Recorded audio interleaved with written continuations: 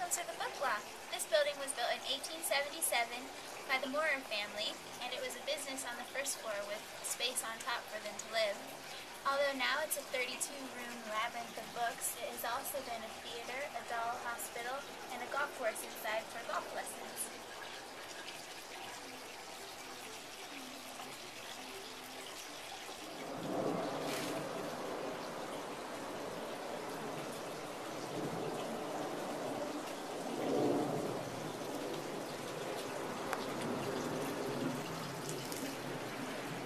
Hi, I'm Carl Jacobson. I'm one of the owners of the Book Loft in German Village. We have 32 rooms of books. Uh, we're the only full-service independent bookstore left in Columbus. We've been here for 33 years, and uh, uh, we have an outdoor courtyard here. It goes all the way through the block. Uh, a lot of people spend time in the summer with their lunch and everything outside here. Okay, our hours are we're open uh, every day. We're open from 10 in the morning until 10 at night, and until 11 o'clock on Friday and Saturday night.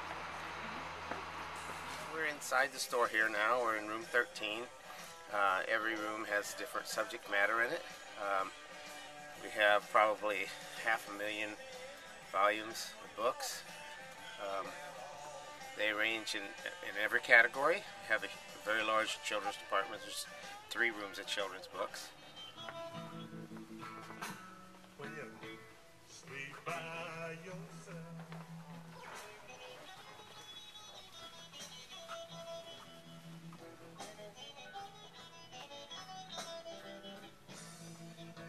So long.